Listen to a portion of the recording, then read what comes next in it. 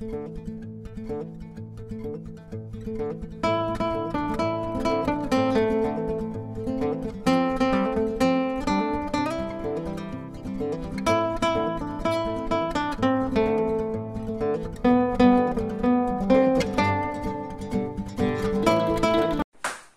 y amigos, sean todos ustedes bienvenidos, agradeciéndoles siempre por seguirme en todas mis redes sociales, como son en Facebook, LinkedIn, Instagram, TikTok y por supuesto en YouTube, ¿de acuerdo?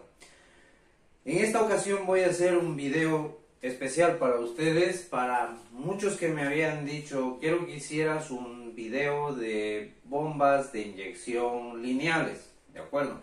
Entonces, eh, para todos ustedes y para los que quieran y los que no hayan visto mis videos y les va a interesar mucho este video, quiero que de antemano ustedes lo vean, se suscriban también al canal, que le den un like, que compartan también por supuesto con todos sus amigos, ¿de acuerdo? Entonces, eh, esta clase va a ser bomba de inyección lineal Bosch, ¿de acuerdo? Voy a hacerles una breve introducción de lo que quién fabricó el motor diésel y quién fabricó la bomba de inyección Bosch. ¿De acuerdo? Por allá por los años 1893, eh, corría el año 1800, perdón, 1893. En esa época, eh, el ingeniero eh, Rudolf Diesel, es el que inventa un motor de combustión interna de alto rendimiento con otro tipo de combustible. ¿De acuerdo? Entonces ese tipo de combustible es el que nosotros tenemos hoy en día, que es el diésel, el gasoil. Se puso el nombre de diésel porque él, su nombre lleva Rudolf, y como él inventó el motor diésel, por eso se quedó el motor diésel. Que para en aquel entonces él construyó esta máquina o este motor.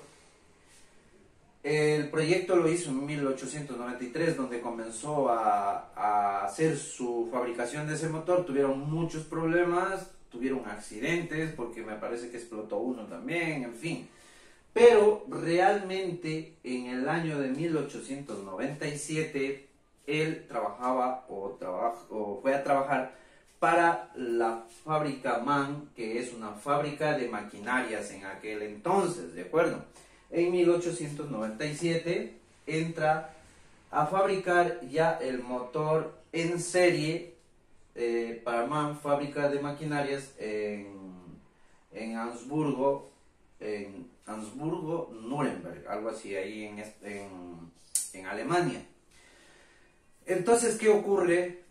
Que él comienza a fabricar motores para barcos o para motores grandes, por decir algo. Pero en sí, esos motores lo tenía un poco difícil, era el sistema de inyección, por decir así, el sistema de inyección para inyectar el combustible a los cilindros. Entonces él tenía esa combinación que, él había hecho, era un poco brusca, por decir así, y era un poco complicada. Entonces, ¿qué, pasa? Que, se, que conoce a, otro ingeniero, a Robert Bosch, ¿vale? Y en 1925, Robert Bosch hace, eh, termina su proyecto de la bomba eh, lineal Bosch. Y en 1927 ya Robert Bosch comienza a construir eh, bombas inyectoras en línea, pero ya en serie, para poder montar a este tipo de motores diésel. Entonces, Rodolf Diesel se asocia con Robert Bosch y por Robert Bosch le vende o hacen no sé cómo decirlo, pero hacen una asociación ahí entre los dos y las bombas inyectoras lineales de Robert Bosch se montan en los motores diésel y que hasta hoy en día los tenemos. Y pues esto ha transcurrido muchos años atrás de cuando lo hicieron. Hicieron las bombas rotativas también, eh, la bomba rotativa Bosch. Como ustedes conocen, hay muchas bombas rotativas, la VE, la VP, la VP44, la 33, en fin. Y las lineales Bosch también tenemos muchos tipos de bombas inyectoras lineales. ¿De acuerdo? Bueno, dicho esto, más o menos que los hayan entendido, cómo es que primero um, Rudolf Diesel hizo el motor, luego eh, Robert Bosch hizo el sistema de inyección para que sea preciso y montó en ese motor. ¿De acuerdo? Y desde allí para adelante hasta el día de hoy que tenemos sistemas de inyección ya Command Rail que son igual eh, diseñados por Bosch, o sea, por la fábrica Bosch. ¿De acuerdo? Entonces nosotros tenemos aquí una ilustración ahora sí de la bomba inyectora Bosch. ¿Qué ocurre que nosotros en un motor de combustión interna diésel vamos a tener en una bomba inyectora los, los mismos elementos que tenemos en los cilindros. O sea, si un motor es de 6 cilindros, vamos a tener 6 elementos o 6 salidas de combustible. ¿De acuerdo? Una de ellas va a ir a cada inyector para cada cilindro. Si el motor lo tenemos de cuatro cilindros, vamos a tener cuatro salidas, cuatro elementos, un árbol de levas que va aquí adentro que hace funcionar sincronizadamente hacia eh, los diferentes cilindros. Entonces, como había dicho, tenemos un motor de cuatro cilindros, vamos a tener cuatro elementos o cuatro racores de salida. Si tenemos una bomba de seis eh, cilindros, vamos a tener como esta de aquí de seis salidas. Y si tenemos un motor V8, vamos a tener una bomba con ocho salidas y con ocho elementos. ¿De acuerdo? Hasta allí yo creo que han entendido cómo es que funciona esta bomba inyectora. ¿De acuerdo? Tiene en el centro un árbol de levas que de acuerdo al orden de inyección, según vaya girando, va a ir enviando, va a ir haciendo subir un elemento que tome presión y envíe a un inyector, ya sea eh, si es un orden de encendido 1, 5, 3, 6, 2, 4, enviará al inyector número 1, luego al inyector número 5, luego al inyector número 3, 153, luego al inyector número 6, luego al 2 y luego al 4. Y si es un motor de 4 cilindros y llevamos una inyección o un orden de encendido 1, 3, 4, 2, entonces saldrá primero por el 1, acto seguido irá al número 4. Entonces, primero habíamos dicho en el 1, luego en el 3, ¿De acuerdo? 1, 3, luego iría al 4 y luego iría al 2, siendo, ¿eh? siendo una bomba eh, de 5, va, perdón, de 4 cilindros. Y si fuera una de 5, por eso, dependiendo el tipo de motor, es el tipo de bomba. Si es de 4 cilindros el motor, una bomba de cuatro cilindros o de cuatro elementos, de cuatro racores de salida. ¿De acuerdo? Entonces, dependiendo del motor, como les digo, si es de cuatro cilindros, si es de cinco cilindros, de seis cilindros, de, de 8 cilindros o de 10 cilindros, será la bomba inyectora que está montado en ese motor. ¿De acuerdo? Muy bien, ahora nosotros yo he dibujado aquí una, una un esquema de cómo funciona la bomba. La bomba, el número uno que tenemos nosotros por aquí es el depósito de combustible. Esos serán los elementos que están conformados en el circuito de alimentación de nuestra bomba inyectora. Tenemos el depósito de combustible de nuestro vehículo. Da igual el vehículo que sea, ¿de acuerdo? El número uno como digo, depósito de combustible. El número 2, que es esto que ustedes ya lo conocen, que es la bomba de transferencia, en donde desenroscamos nosotros esto, se eleva y comenzamos a bombear para bombear el combustible para poder purgar cuando cambiamos los filtros, etc. ¿De acuerdo? El número 2 hemos dicho bomba de transferencia. El número 3 es los filtros de combustible. ¿De acuerdo? Tenemos los filtros de combustible. El número 4 que es esto, todo este elemento de aquí que ustedes conocen, es la bomba inyectora. ¿De acuerdo? La bomba inyectora sería el número 4. Todo esto es la bomba inyectora. El número 5, que lo tenemos aquí arriba, sería el inyector. Nosotros por cada cilindro tenemos un inyector, cuatro cilindros, 4 inyectores, 5 cilindros, 5 inyectores, 6 cilindros, 6 inyectores y así sucesivamente, dependiendo del tipo de motor que estemos trabajando, ¿de acuerdo? Nos habíamos quedado en el 5 que era inyector. Luego tenemos nosotros el número 6, que es esta de aquí, ¿de acuerdo? Que es la válvula de descarga. Muchas veces hay gente que me ha preguntado, es que el motor mmm, no arranca, ¿vale? El motor lo he parado y no quiere arrancar. Es como que me tomara aire. Muchas de las veces es que esta válvula de aquí, la válvula de descarga, se estropea. Lleves una bola y un muelle, ¿vale? Y muchas de las veces el muelle, mmm, de tanto trabajar, pues mmm, pierde tensión y entonces deja escapar más presión de la que debería de tener allí. Se queda sin presión aquí, entonces por esa razón no arranca. ¿Qué hay que hacer? Cambiar esta válvula, ponerle una válvula nueva, ¿de acuerdo? O yo le llamaba una válvula antirretorno, ¿de acuerdo? Pero en sí es una válvula de descarga. Cuando hay demasiada presión aquí adentro de la bomba, entonces descarga. Esa válvula va tarada a ciertos bares de presión para que cuando ciertos bares de presión tenga la bomba dentro de ella, libere presión, ¿de acuerdo? Y vuelva otra vez a sellar. Esa es la función que tiene la válvula esta de aquí de descarga. ¿De acuerdo? Tener mucho cuidado cuando hay veces eh, en Mercedes, eh, bueno, en muchos vehículos que tienen este tipo de bombas y tienen este tipo de válvulas de descarga, se suelen romper y entonces el motor no arranca.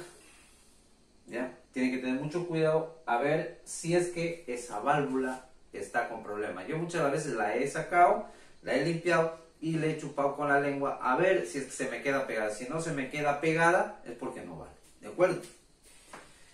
El número 7 eh, es toda esta parte de aquí, toda esta parte de la bomba. Ese se llama el regulador de revoluciones.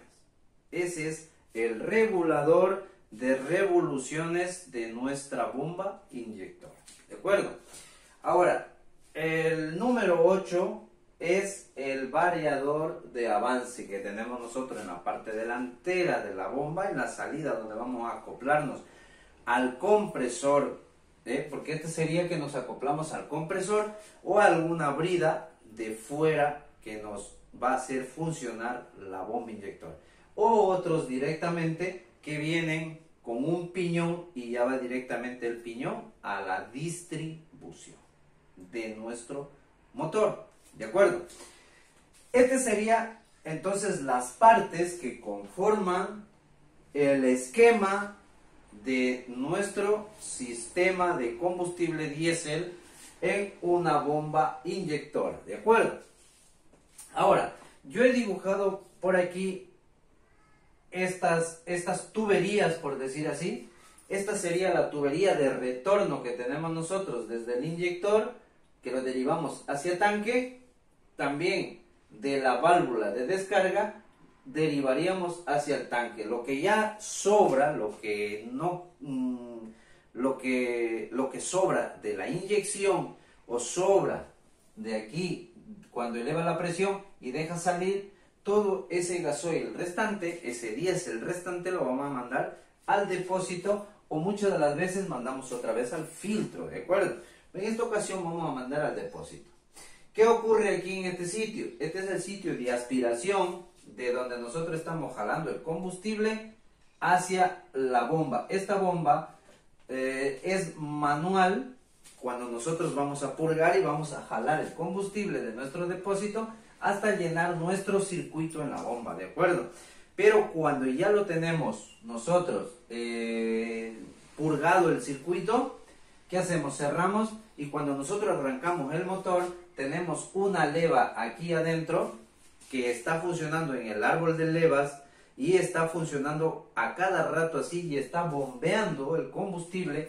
Entonces bombea el combustible de aquí, del depósito, y lo envía hacia los filtros. Después de los filtros envía hacia la bomba de combustible, perdón, hacia la bomba inyectora y desde la bomba inyectora, dependiendo las revoluciones que esté el motor, estará saliendo por cada uno de los racores en el orden de encendido de ese motor y estará haciendo su funcionamiento en el motor, inyectando a cada uno de los inyectores de los respectivos cilindros y en el orden de eh, inyección que tenga ese motor, ¿de acuerdo?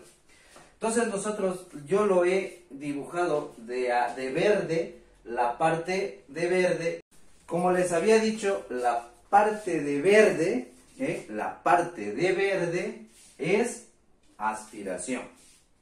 Ahora, la parte que está de azul, con las líneas azules, ¿eh? con las flechas azules, he dibujado de rojo porque pues no tenía otro color en sí, ¿vale?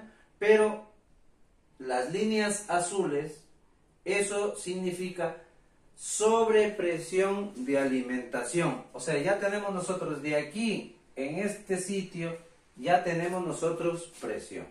¿De acuerdo? Tenemos una presión que para eso tenemos la válvula de descarga que si ahí voy, cuando hay mucha presión, excesiva presión, entonces va a abrirse y va a derivar por aquí a tanque. Pero cuando ella cierre, la válvula cierre, se va a quedar todo esto con presión de combustible, a una cierta presión. Como esto va a estar hermético cerrado, cuando tú le des al arranque va automáticamente el motor a funcionar y aquí sí son las líneas de alta ya. Porque aquí cuando ya sale de dentro de la bomba por medio de los elementos, ya bombea, está bombeado el combustible y al bombear el combustible está a una gran presión para levantar nosotros la aguja, ¿de acuerdo? La aguja de nuestro inyector. Muchos inyectores que necesitan en este tipo de, de motores, ¿vale? En este tipo de motores, ¿cuánto necesitamos en un Mercedes, por ejemplo? 120 bares que ya tengamos 120 bares para que levante la aguja, la tobera y nos haga la inyección. En otros motores necesitamos 180, en otros 150, en otros depende. En el mismo inyector suele poner eh, los bares de presión que trabajan esos inyectores. Cuando ha llegado esa presión de e, e, esa cantidad de bares de presión aquí es cuando alza la aguja para hacer su pulverización de inyección. ¿De acuerdo? Entonces, esto es aspiración, como he dicho, lo verde, ¿eh? cuando ahí no tenemos, eh, por decir así, presión, eh, tenemos el retorno que está retornando sin presión, el depósito no tiene presión y por aquí la aspiración tampoco tiene presión, pero a partir de aquí ya tenemos sobrepresión de alimentación en esta parte. Y en la parte de arriba sí ya tenemos la presión de inyección. ¿De acuerdo? Entonces yo creo que con esta clase, espero que les haya gustado mucho. Les he dado el esquema del funcionamiento. Este sería el acelerador, la palanca de acelerar y desacelerar en el regulador de revoluciones. Yo espero que les haya gustado mucho este video y ustedes déjenme un comentario de qué es lo que quieren aprender de este tipo de bomba, ¿eh? de este tipo de bomba, para el próximo video hacerlo, hacerlo y para que ustedes vayan aprendiendo más de lo que es las bombas inyectoras lineales, ¿de acuerdo? Por ejemplo, lo que les había dicho, en esta parte de aquí, ¿vale? Estos son los elementos de bombeo. Este sería el pistón y este sería, como decir así, el cilindro, ¿de acuerdo? Ese es el sistema de bombeo. Y pues acá tenemos los racores de salida, que son los que están en la parte alta. Y aquí, en este esquema que ustedes ven aquí, esos son los elementos, ¿de acuerdo? Partes de los elementos de inyección, eh, con su ranura longitudinal, longitudinal perdón, eh, el cilindro, el pistón, el orificio de descarga, alimentación y sobrante, ¿vale? Y la rampa helicoidal también. Entonces, si ustedes quieren aprender cómo, eh, cómo es que funciona la bomba, por ejemplo, aquí tenemos una, una bomba en corte también. A ver si lo... Aquí tenemos la bomba en corte. Como pueden ustedes apreciar aquí. Esta es una bomba inyectora de 6 cilindros también. ¿Vale? De un motor de 6 cilindros. Entonces, ustedes háganme saber qué es lo que necesitan aprender más de lo que es una bomba inyectora de este tipo una bomba inyectora Bosch.